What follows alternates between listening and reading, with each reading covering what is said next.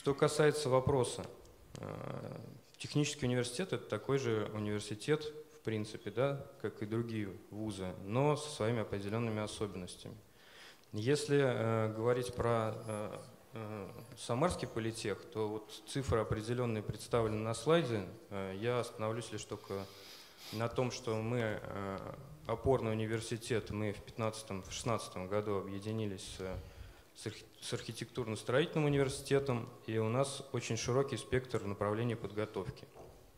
Э, по цифрам э, повторяться не буду. Э, и чем еще, ну, наверное, на мой взгляд, основное отличие технического университета, политехнического, да, первое – это очень большой спектр направлений подготовки и возможность скажем так, варьирования их и сборки из абсолютно разных блоков – и второе – это связь с промышленностью, это э, не окор, а цифры вне бюджета. Потому что мы как технический университет, у нас много очень партнеров, здесь на слайде этого нет, а, но это имеет отношение непосредственно к разработке стратегии, потому что среди этих партнеров очень много компаний цифровой экономики, которые работают в реальном секторе и которые видят нас как ключевого партнера с точки зрения кадров, потому что больше их брать, ну, условно, как с технических вузов в основном для разработчиков. А, если мы не берем там ДПО, то мы как основной источник. А, цели, задачи, стратегии представлены на экране. Здесь два нюанса. Первый, то что когда мы разрабатывали стратегию, мы ее начали разрабатывать первый раз в этом году – это совпало ну, с двумя моментами. Первый с э, обучением по программе CDTO да, в Иннополисе. И это нам очень сильно помогло. И второй нюанс, что в этот же момент э, как бы, у нас была программа утвержденная развития университета в январе э, или феврале, по-моему, в феврале этого года, но готовили заявку на приоритет, и, соответственно, стратегия цифровой трансформации была абсолютно гармонизирована с тем, что представлено в программе развития. На самом деле это очень важно с точки зрения как раз реализации последующей. Вот. И мы как бы определили для себя э, приоритет э, с точки зрения именно уже реализации, что мы до 2025 года полностью разбираемся полностью заканчиваем э, образовательный блок э, с разработкой сервиса, который будет охватывать всю образовательную деятельность, несмотря на то, что сейчас все эти сервисы практически все представлены и реализованы, но нет единой как бы, системы, единого сервиса, который позволил бы организовать индивидуализацию обучения не в руки, то есть не бумагами, в автоматизированном полностью, в цифровом, э, даже не автоматизированном, а цифровом режиме с рекомендательными сервисами, с навигацией по образовательному пространству и с оценкой цифровых следов. Вот это у нас был приоритет, который мы как бы себе ставили, пока писали стратегию в рамках обучения. А, также провели оценку цифровой зрелости. Сразу отвечу, что у нас было 50, по-моему, и 4, э, но на данный момент 52. Но это связано исключительно с инфраструктурными, скажем так, э, даже со структурными изменениями, что появилось там подразделение ответственное за данные, появился там человек. То есть э, если кто смотрел методику МФТИ, там как раз это уже оценивается, и только вот это повлияло. Но я здесь сразу оговорюсь, я, например, на эти цифры не смотрю. Мы тоже оценивали так, чтобы они были наиболее приближенные к реальности, потому что там, ну, на самом деле, если играть этими цифрами, можно получить я с Петром абсолютно здесь согласен. И второе, я считаю, что это все-таки следствие той работы, которую как бы, проводится в университете. А не над, ну, что первично не цифра, а сама суть проблемы.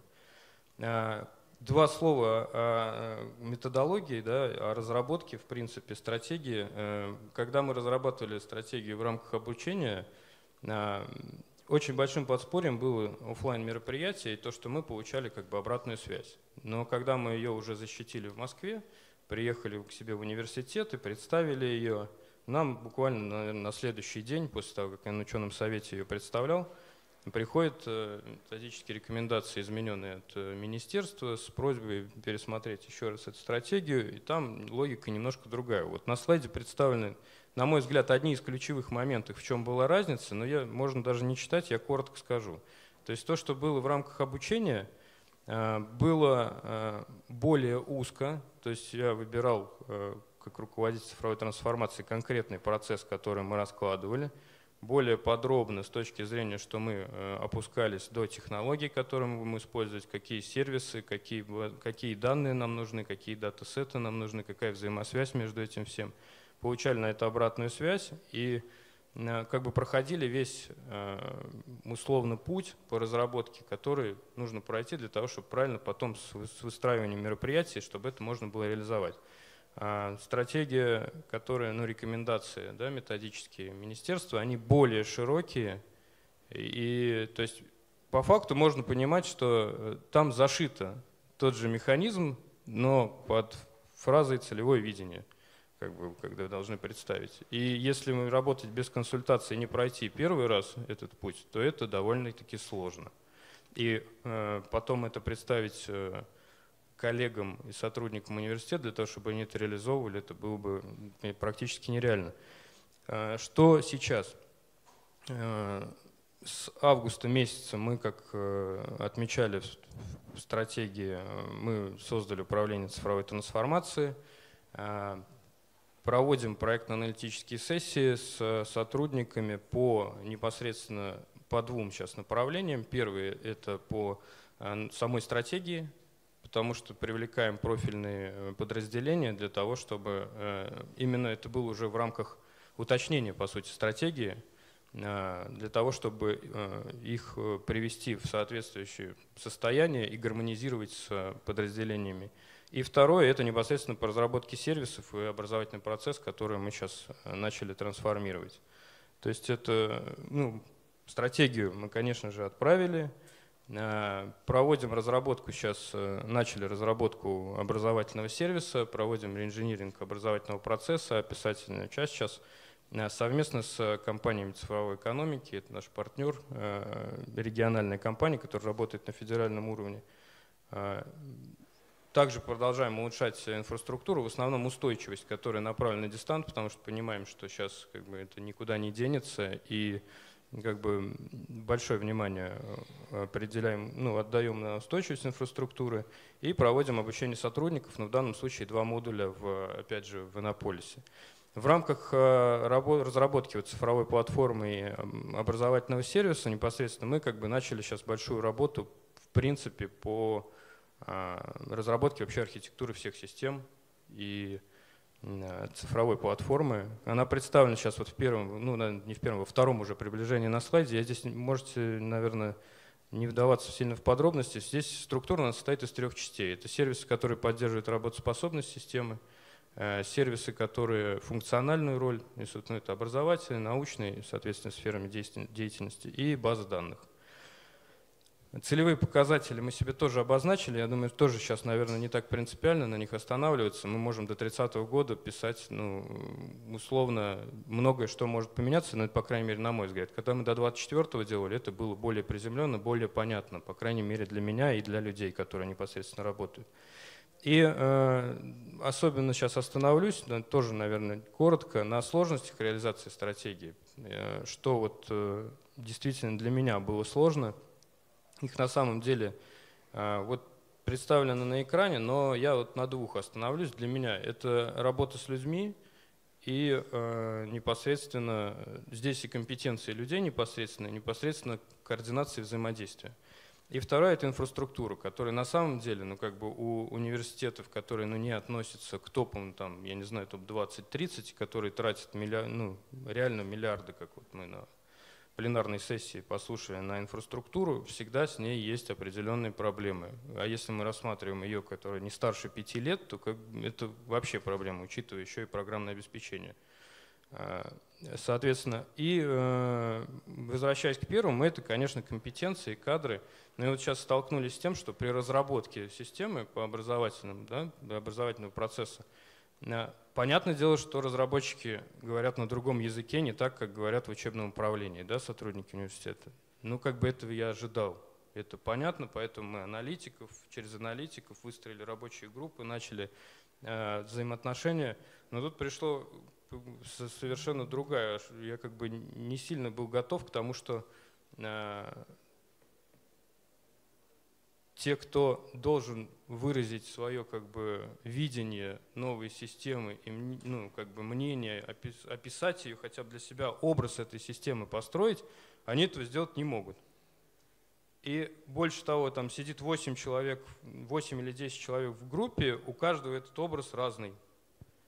И это очень сильно как бы, то есть разработчики говорят, вы нам дайте, у нас все понятно, дайте нам данные, дайте нам процессы, дайте нам вот эту схему, мы сейчас все вам реализуем, вот такой стек технологий, все будет хорошо, вот дата у нас там условно полгода. Но мы понимаем, что мы сейчас три месяца или полгода будем только заниматься тем, что этот образ мало того, что согласовать у всех, так его еще потом и описать надо каким-то языком, чтобы им передать. И, в общем, я сейчас нахожусь как бы вот с командой и непосредственно с вовлеченными людьми в это, вот в таком э, положении. И поэтому для меня как бы очень живо это сейчас, ярко, и для меня вот топ-2 вот эти сложности, которые они есть. Положительные моменты тоже представлены на слайде, и прям заканчиваю минуту на э, рекомендации, наверное, вот, потому что коллеги, организаторы просили упомянуть рекомендации, кто ну, как бы начинает эту работу и на что обратить внимание. Первое э, и однозначно главное самое – это готовность изменений у руководства. Если этого нет, можете как бы ничем не заниматься. Ну, можете заниматься, но это никто как бы не оценит, и дальше это никуда не пойдет. На мой взгляд, очень важно э, оценку цифровой зрелости и, в принципе, ресурсов, которые вы можете потратить. Можно составить нереальное техническое задание, если на него не, нету первого и нету финансов, вы как бы дальше туда не пойдете, или нету инфраструктуры. То есть здесь тоже, опять же, реалистичность. И третье, наверное, э, для меня тоже очень важно, я всегда считаю, что нужно правильно расставлять приоритеты.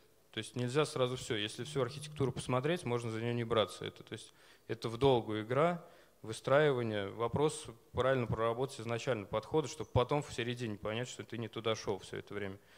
А так вообще приоритизация, у нас как бы приоритет мы поставили себе образовательную деятельность, очень с ней связано, мы должны как бы это вопрос до 2024 года, как у нас стратегия была, мы так себе в этой стратегии точно так же его указали. Вот. И, ну, в любом случае гармонизация всех документов стратегических, понятное дело, она должна быть, и я считаю, что это ну, как цифровая гигиена уже сейчас. Ее, конечно, нет, но она должна быть, поэтому над этим тоже нужно работать. И обязательно привлечение компаний-разработчиков в цифровой экономике, потому что эти компетенции, это те компетенции, которых в ВУЗе нет, по большому счету. Они есть даже вот по взаимодействию с компаниями реального сектора, но они есть точечно у тех, кто действительно ведет э, неокр, кто действительно взаимодействует, зарабатывает деньги в реальном секторе. Они могут этого делать. Чтобы их взять и в административный какой-то э, пул перевести, это практически нереально, им это неинтересно. У меня все, спасибо. Тем, да, благодарю вас за такое прекрасное выступление, содержательное и очень показали нюансы. Мне просто вспоминается по аналогии, когда вы говорили о субъектах, людях, ответственных за те или иные, как мы говорим в рамках процессов, владельцы процессов.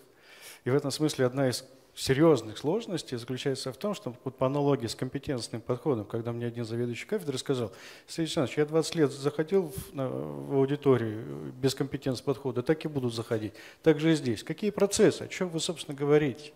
И я еще, оказывается, владелец этого процесса, я должен его как-то описать. Как, как его должен описать? И, возвращаясь к вопросу, который сегодня уже поднимали, что цифровизация, она невозможна без множество там факторов, но мне кажется очень важная и главная вещь. Это описание бизнес-процессов и, собственно говоря, датасеты. Вот без этого, собственно говоря, никак.